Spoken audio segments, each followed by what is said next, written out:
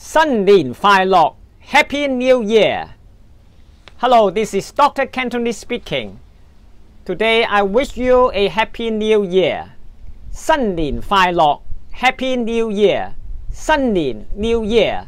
新 means new. 年 means year. 快乐 happy. 祝你新年快乐，Wish you a Happy New Year. 祝 to wish. 你 you 新年 New Year 快乐 Happy，祝你新年平安，Wish you peace in the New Year。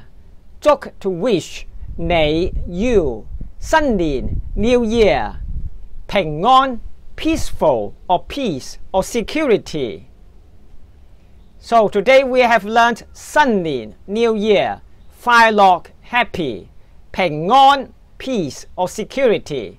Thank you for watching. 多谢收睇。